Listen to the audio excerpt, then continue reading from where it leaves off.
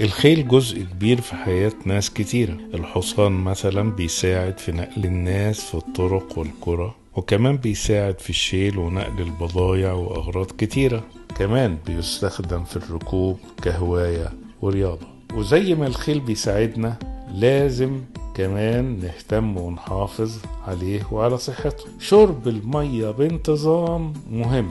علشان الحصان ما يجروش جفاف وللأسف فيه اعتقاد خاطئ إن الخيل ما يشربش مية وهو بيشتغل.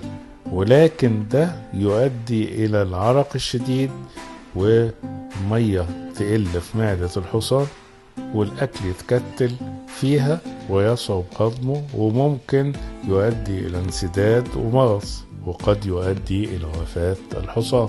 وعلشان تحافظ على صحة حصانك ما تنساش توفر له المية وتخليه يشرب كل ما هو عايز.